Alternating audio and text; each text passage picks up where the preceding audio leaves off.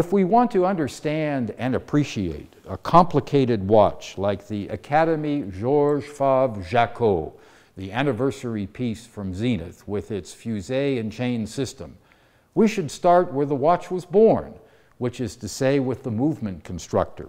Now in French, the word constructor means designer, and I'm with the designer of the system of the fusee and chain for the Georges Favre Jacot watch, and he's going to explain to us how the fusee and chain work together to deliver constant force for the watch. But we're going to go deeper because there are other issues that have to be confronted when you build a system like this. How do you protect the chain when you're winding the watch? How do you keep the watch running when you're winding the watch? All of these things we're going to learn with the man who designed this system for Zenith.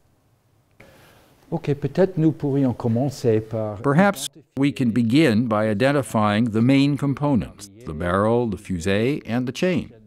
Oui. Yes, so we have the barrel, which has the mainspring. On a le ressort. That's the mainspring. Yes, the mainspring. Next, we have the fusee, and between the two, we have the chain. on a la chaîne. The chain pulls the fusee as the barrel unwinds. Quand le barillet se décharge. Here is the position with the maximum state of wind. So the barrel is fully wound at this moment, Exactly. and it pulls the fusee at the point of the smallest diameter. Exactly. So you can imagine this system like a bicycle derailleur.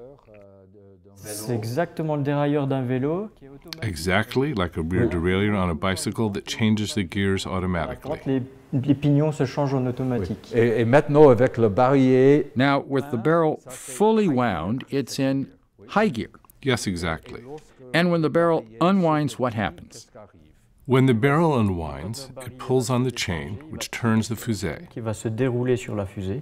Et la fusée va s'enrouler sur cette euh, forme-là qu'on voit très bien. It unwinds from the fusee, following its sloped form, and that changes the effective radius of the chain. When the mainspring is weaker, that is, when it's nearly completely unwound, it pulls from the bottom. From the bottom, with a large effective radius, which compensates for the drop in force to regulate the force of the barrel. That is to say, low gear. Le gear. With 50 hours power reserve, you see a straight line of force instead of a force that drops according to the depletion of the barrel. You see a straight line until the end when it fully drops. donc ça c'est le système. So this shows the classic system for all watches. Toutes les montres. toutes les montres euh, heure-minute. All watches. Hour, minute, the same gear train. Et puis ici, And next we have the seconds wheel, on which we've placed the axis for the hand. donc ici on voit que l'axe est un peu plus long pour, avoir le, pour pouvoir planter l'aiguille. And for the winding. En fait, le, au système de The winding is done by the crown. Oui. That's classic for a watch. Exactement. Exactly. Et, et donc, lo- And when one turns the crown through the gear system, that turns the fusee. La fusée. Yes, and the fusee will pull the chain, which will rewind the mainspring in the inside of the barrel. What happens when the barrel is fully wound? Alors une fois que le barillet est plein, en fait la fusée, donc When the barrel is full, which is the position shown, the chain will push on this ratchet, quand ça va arriver à peu près dans cette position-là, la chaîne va appuyer sur ce cliquet. Et ce cliquet, il va venir en and that will put it in contact with this pin, and this pin will stop any further winding. stopper la fusée.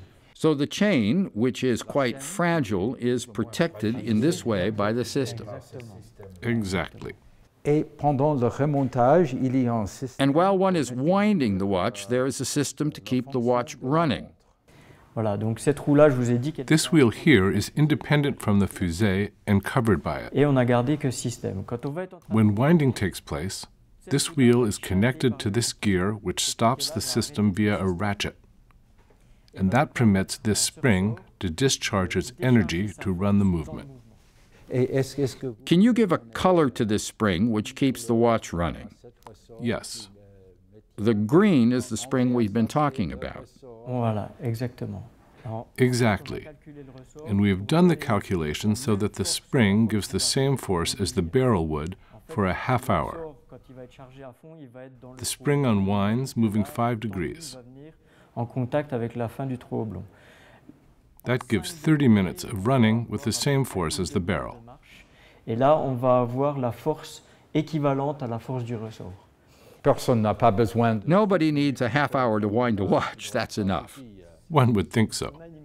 30 minutes is enough for everybody. Charge maximum, ça suffit largement pour faire tout le remontage. That should do it for everybody. Une demi-heure pour faire le remontage. euh, oui. Effectivement.